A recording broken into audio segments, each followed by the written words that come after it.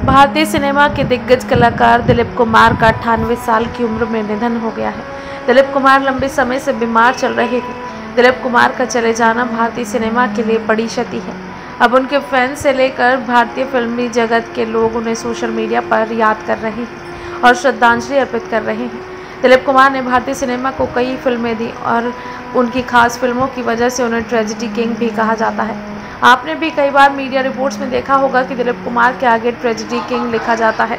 ऐसे में जानते हैं कि आखिर दिलीप कुमार को ट्रेजिडी किंग क्यों कहा जा रहा है? दरअसल दिलीप कुमार के अपने करियर में एक वक्त ऐसा भी आया जब उन्होंने कई फ़िल्मों में गंभीर रोल निभाए। इसके बाद वो ट्रेजिडी किंग के नाम से मशहूर हुए। इस दौरान उन्होंने ट्रेजिक किरदार निभाए थे।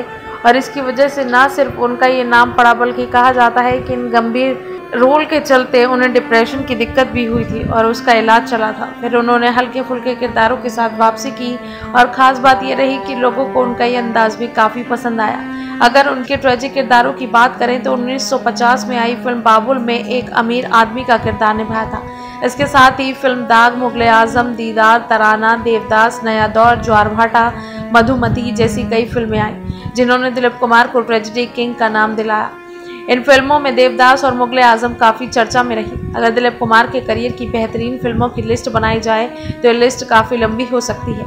लेकिन अगर सिर्फ़ पाँच बेस्ट फ़िल्मों की बात हो तो उसमें मुगल आज़म, नया दौर, देवदास, राम और श्याम, गंगा जमुना का नाम ज़रूर शामिल होगा।